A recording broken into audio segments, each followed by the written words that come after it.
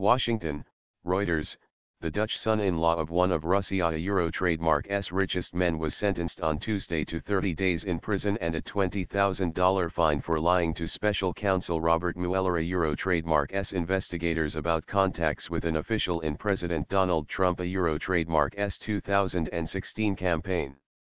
Alex van der Zwaan, a lawyer who once worked closely with Trump a Euro trademark's former campaign chairman Paul Manafort, was also sentenced to two months of supervised release. He had pleaded guilty on February 20 as Mueller intensified his investigation into potential collusion between the presidential Euro trademark S campaign and Russia.